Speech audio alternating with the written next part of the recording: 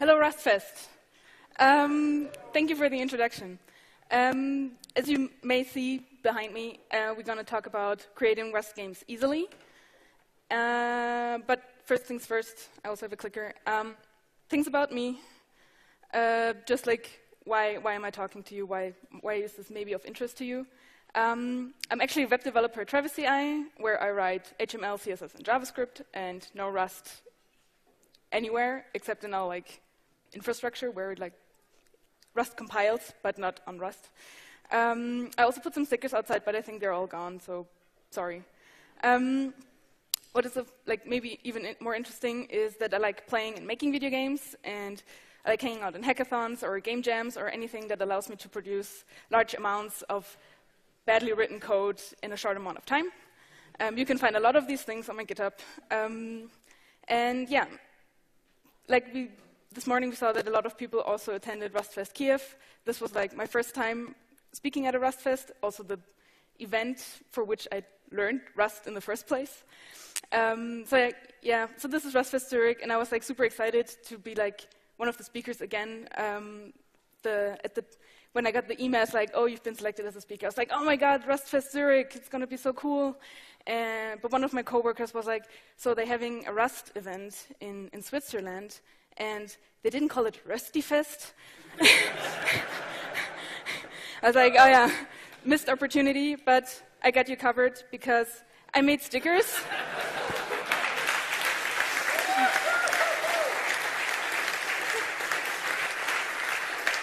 um, I have 200. I will put them here. Limited edition. Okay. Um, okay, so back in April in Kiev, um, I was also talking about making games in Rust, uh, but back then um, I, I, presented a game that I, used, uh, that I implemented using Piston, but uh, doing the research for the other talk, I already stumbled upon um, a game-making framework library engine, as you may want to call it, called GGEZ. And now you can like guess what I used for this talk. GGEZ. And finally enough, um, also like the creator of this is actually present, which was like a pleasant surprise in the break. It's like, hey, I'm using your thing. Um, okay, so what is GGEZ? It's like the name was one of the most confusing things for me in the beginning. It's like, oh, how do I pronounce this? Um, stands for Good Games Easily, obviously. Um, it's a library for making 2D games. Um, it's inspired by Lua's Love 2D engine, which is very nice API and just like creating games for like like packaging everything you need for an event like a game jam, uh, which I attend. Um, so I was like, ah, this is like a very cool approach and like totally different to the one that like Piston takes. So that was interesting. Um, so we have events and drawing and, and sound um, all in one crate, which is great. And there's also like a module system in the making, which like also aims to extend these things, but it's from like I stalked the, the issues that were like opening and the discussions going on. It's like, okay, I'm gonna wait a bit until I get my hands dirty with that. Um, okay, so when I wrote the proposal for, for this talk, I thought, okay, so what, what can I do different this time so it's not like always the same thing, just like a different game? And I thought it's like, oh, I'm to do like a little walkthrough of like actually just like making a game during the talk and just like explain you like what the things do and just like create a small 2D game. And I thought it was like a very good idea to like in the in the review field for the committee write something like, oh, we're gonna do this like maybe semi-live. I do some copy pasting, and it's gonna be fine. And it's like, yeah, this is totally not scary. Um, but then in the announcement that happened on the Rust Rustfest blog, it was like like a live coding session. I was like, oh my god, this this is not what I signed up for. So there will be it will be Depending on, on, your definition of live coding, it may not be live coding, but I'm, I'm doing my best. Um, yeah. So if you want to make a game, you should upfront know, roughly know what the game should be about.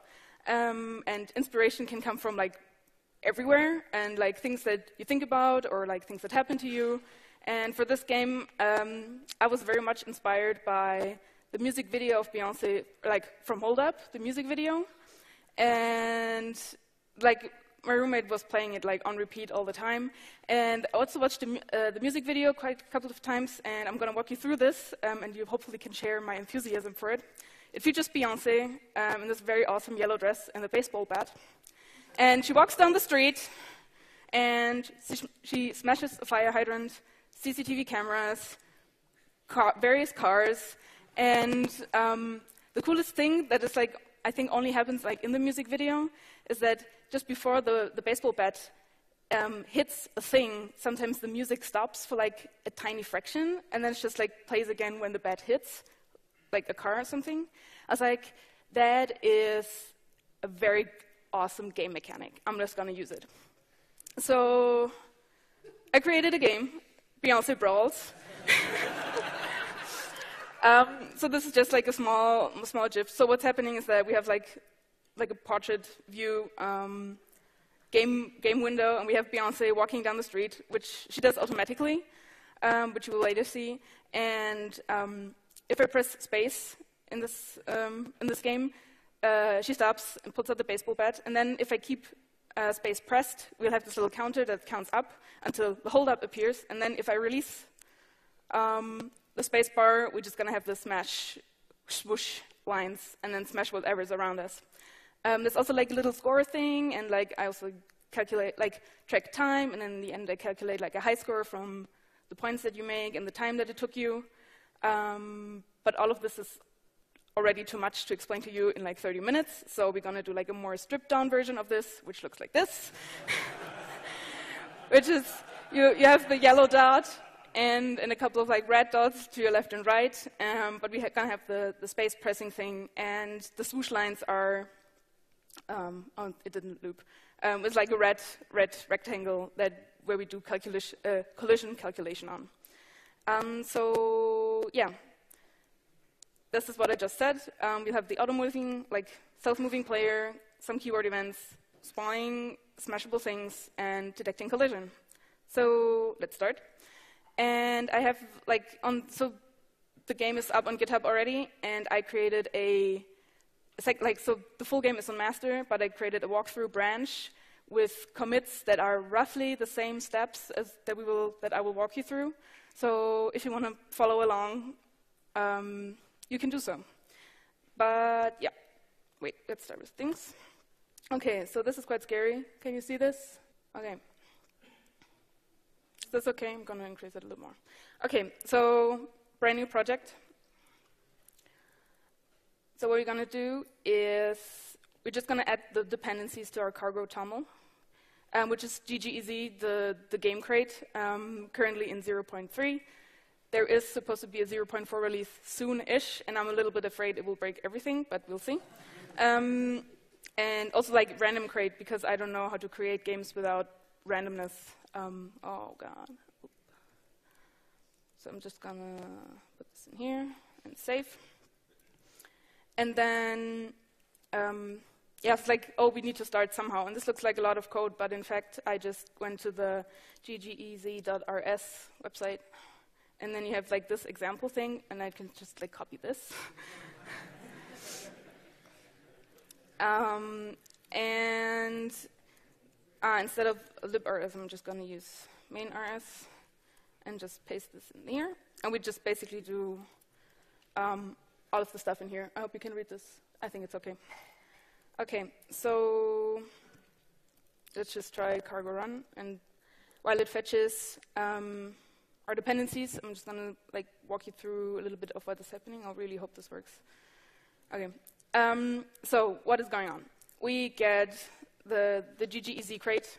We're going to use some of the stuff that it like prepared for us, like a configuration thing, um, events, the game result in context, which is like um, related to like the drawing that will happen. Sorry. Oh. Like, just like. Oh, more. Okay. Like this? Okay. Yeah. Okay. Thank you. Um, okay. Um, we have graphics. We have um, some primitives to actually draw shapes on a thing that we can later remove because I will use PNGs um, some time tracking thing, and uh, here is like the more the more interesting stuff. We have one struct that is called main state, which will have all our the um, the properties that we will keep track of because they interest us in um, the course of the game in this like getting started example, it's just like a, like a little float um, position x.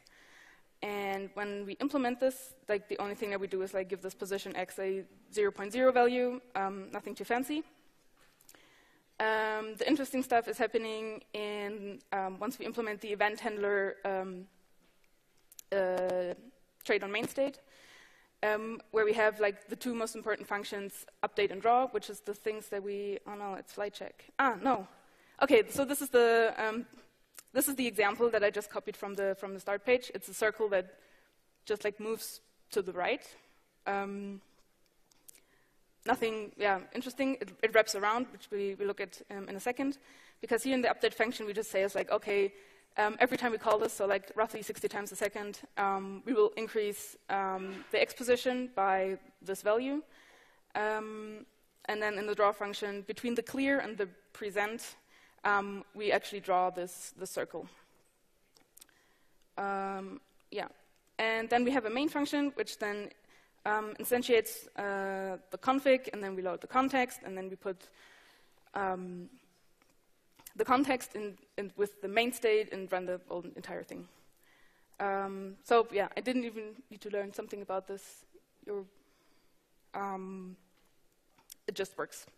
Okay, so we saw what the game looks like, and it's kind of like not really a game, it's just like a circle that moves. But the thing is, it auto moves, and we can directly use this for our Beyonce purposes. Um, so I would just like um, copy over some, like, would just like define some values, um, like how our window should, like the dimensions of our window. So we have like more like, like a portrait style thing. And we can put this in the config. The only thing that you need to change is that this needs to be a mutable thing then. And we just put it like so that the, the title of the window says Beyonce Brawls. And we take off the, the width and the height from the, the window. And if I run this, this is fine. Yeah, okay. So we have like a few configuration values, and this is it. Okay, that's a good start. Um, let's start with the with the player. Uh, I will also just copy over these bunch of values that we use. So most of these are just like eyeballed, because it's just like you can then adjust and see how um, how things work for you. Uh, I define player X and player Y. Uh, whereas because we just walk um, downwards, x will always stay the same, and y will be the, the value um, that we update, so like move down the axis. Um, I have like a little value for speed, so we can adjust like how fast we want this to go. Um, then I define something like which I call the hit area, which is like the the red more uh, rectangle that will uh, then we detect collision on, or like the, the swoosh of the baseball bat, so to say. And, um, and these three things, um, holding speed, holding time min, and holding time max, could probably have nicer names, but they are supposed to be um, keep track of the, the time that I keep the spacebar pressed. So if I press space, um, I will count up um, 0.3 until I, hit, uh, until I reach um, the minimum holding time, which is after, like, this is when the hold up appears, and after, like, during which I can collect, um, collect the collision thing um, until I reach the maximum limit, and then I just like then you have this like window basically of like this um, where you can actually do the thing, um, the swoosh. Uh, you might wonder, it's like, oh, but this is like not actually time. You're just like counting up a value like on every iteration of update, which is true. So this is like not actually time related and you will see significant differences depending on like what computer you run this on. Um, but for the purpose of this game, I think it's totally fine. Um, okay, so um, let's create a struct. Uh, so then we can make use of some of these um, values. So I have a struct player that player has an x and a y. Uh, I use uh, graphic imi graphics image for both the sprite and the hit area images later. Um, in the example, it will only be just like a colored PNG, but um, later on you can like have Beyonce and the baseball bat and swoosh and stuff. Um, I will also define h, x, x, y, and h width and height for the hitbox or the, the hit area um, because lots of calculation things. And then um, a field holding, which um, will keep um, which I will use for the holding time um, to keep track of that. And implemented, this looks something like this. Where's my thing? Okay. Just put this here. Um, okay, so we have a, a new player, and um, yes, I use unwrap. I'm sorry. Uh, and we just like initiate the things with like the constants that we have. Holding will be 0.0. Um, in the update function that we will call in the main states update, uh, we basically check if if self-holding is 0.0, which means we're not holding. Um, this we will use to like update the player's y and also the hitbox y, so that we have like the moving downwards. And in the draw function, um, we just like get the coordinates, put them in a point uh, thing because it's nicer when we draw it, and we just like draw the sprite that we defined. And if we are indeed holding, um, or like our holding value is over the, the threshold of 4.0 that I defined earlier, then we will also draw um, the hitbox, or the hit area. Um, okay, so if I save this and run cargo run, we should already get something that moves. It's not moving. Ah, I know why. Next step. um, oh, yeah. Uh, I need this event thing, but I think for later I just put it on the slide. Um, because we need to put the player into the main state, obviously. Uh, whoop, where are we?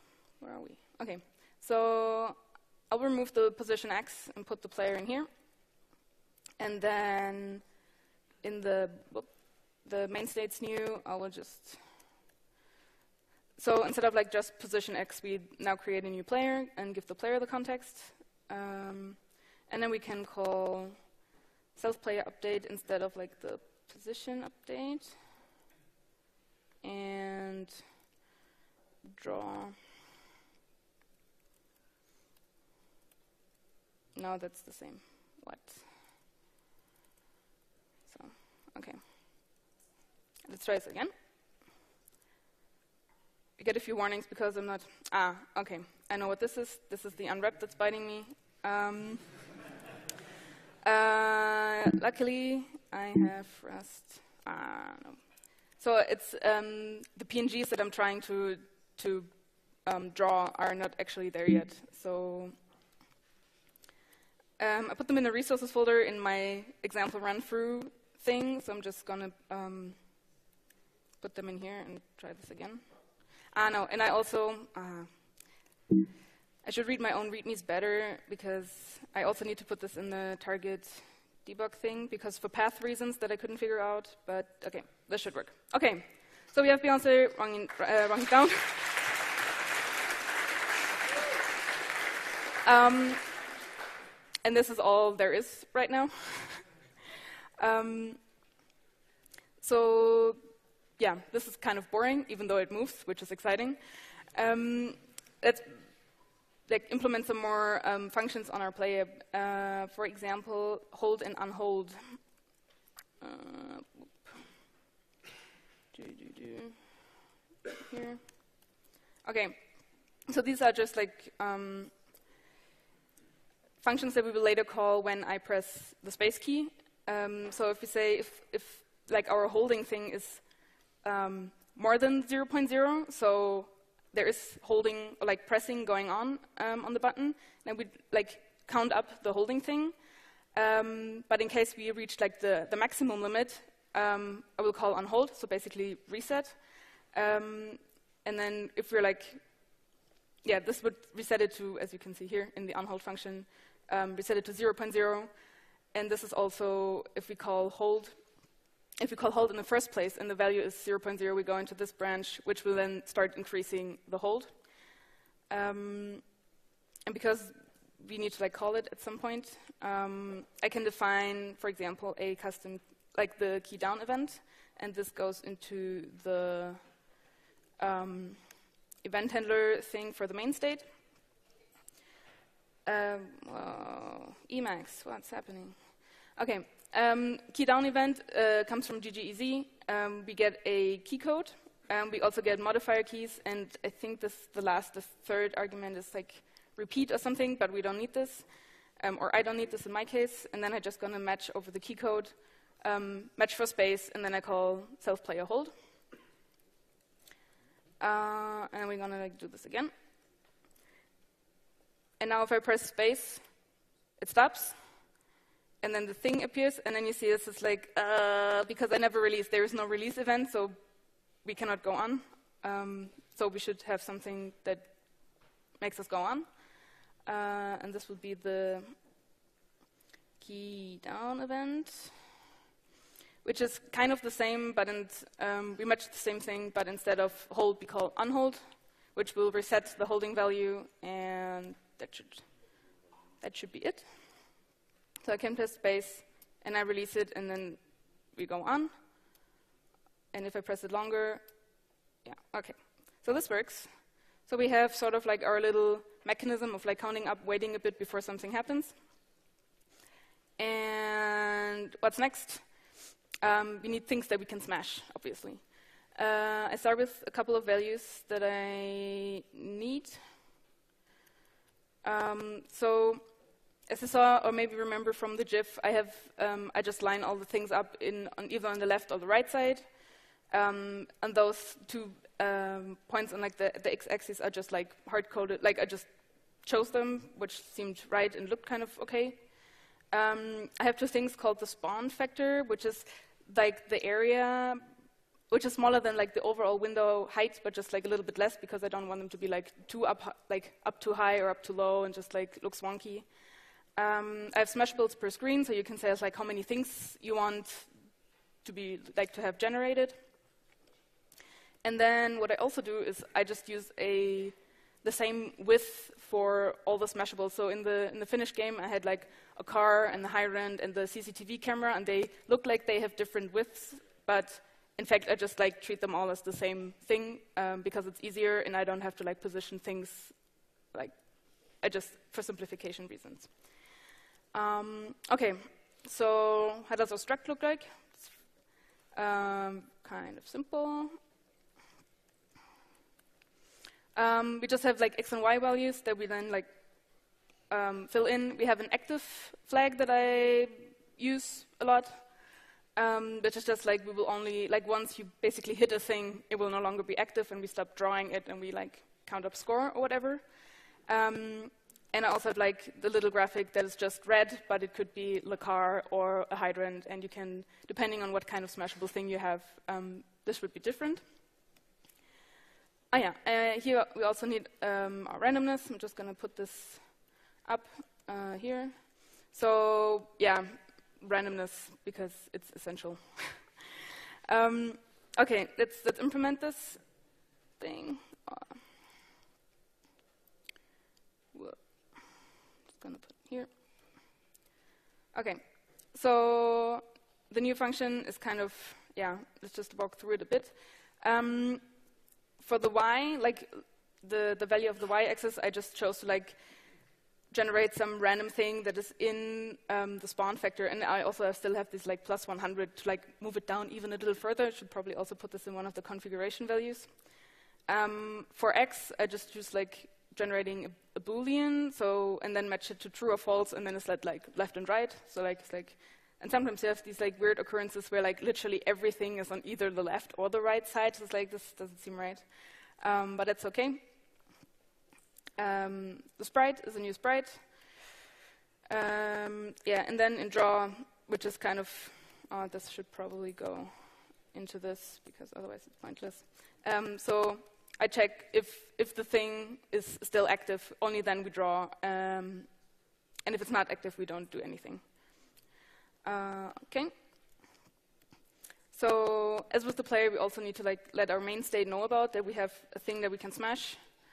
So in our main state struct here, um, we also have smashables, um, and we don't just have one, but we have multiple. So I say it's like, oh, we need a vector of smashables, and whoop, when we create a new game state, um, I'll just create an, an, empty vector and then uh, say basically in the range of like zero to how many smashables I want per screen, um, push new smashables into this vector. and then, oh, wait, this can go. So, yeah. Let's more. And then the only thing left to do is to draw things. And that goes into draw. Um, I will draw the smashables before the player so that the hitbox will then overlay the, um, the smashables. Uh, okay, so let's see how this looks and if I made a mistake. No, ah, we have things. Um, and when I, oh, okay, let's wait for here. If I now press space, we should see that the hitbox will eventually um, collide with um, things on the left or the right side. But we don't have that yet. So let's add that.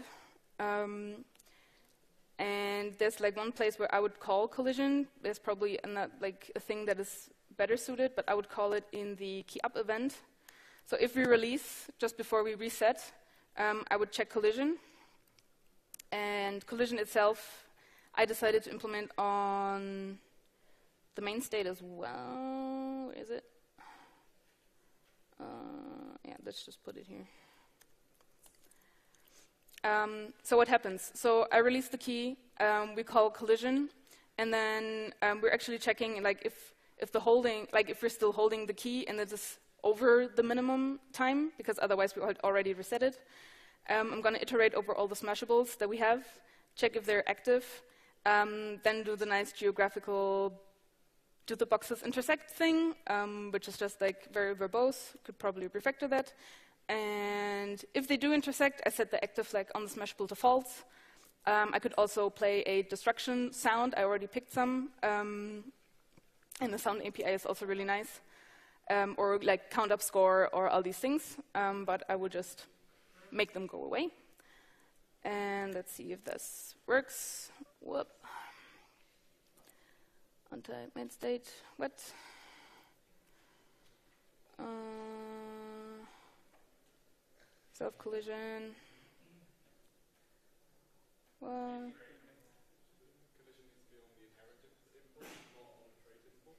Oh. True. Wrong line. Thank you.